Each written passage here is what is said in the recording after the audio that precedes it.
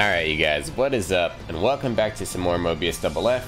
In today's episode we're going to go over a couple of changes that took place after the maintenance um, that, you know, uh, took place yesterday. So today is 8-3-2018. Happy August everybody, and happy anniversary to everybody um, who's playing Mobius right now. Uh, first of all, thank you to Raiden of the Dreamer Society Discord for putting this information together so we can go over it together. And if you want to join the Dreamer Society Discord, know that the links are down below in the description. Let's get started with some of the quality of life improvements and changes. So there is an update to Sephiroth and Cloud models. They will now wield their own weapons similar, similar to how Lightning and Y'shtola uh, will wield their own weapons. This is a visual change only. Um, I'm kind of excited to see it. I haven't really looked at this in particular yet. One of the big changes that uh, did happen yesterday was all augmentation materials now stack. Check your banks, you guys. You probably have a lot of extra space. Rest in peace to anybody who bought bank slots or bought too many like I did. You know, I've got like a thousand. But, uh, yeah, you, you just don't need that much anymore, which is great. It's a good change.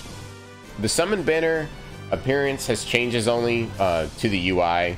So check that out if you haven't taken a look at that yet. Um, I'm still getting used to it myself. Crystal Seeker values are now displayed. So you can check the card and the job's passives, and it should say some Crystal Seeker values in there for you. Now there's a break counter of mobs that is displayed without needing to be in the target view mode. That actually really, really helps. I, I, I'm guilty of switching targets like crazy because of this, so I'm gonna have to get out of the habit of um, going into target view mode all the time. Um, weapon sorting order has changed, so when selecting a weapon from deck, multiplayer decks tabs, um, so th this just looks different, so just keep an eye out for that. So um, the things that we did know about was VIP mode.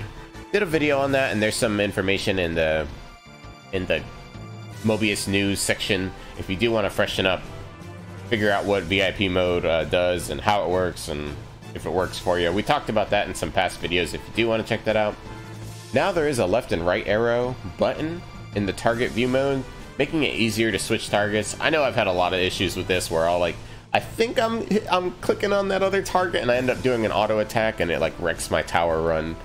Um, you know, it, it's happened to me. Oh my god, it's happened to me so many times. So I'm happy to see this change. The icon of the game has changed to reflect the Final Fantasy 10 event. Very cool. And then now there's, there's iPhone X support added. I didn't know there wasn't iPhone X support, so that's exciting stuff. Um,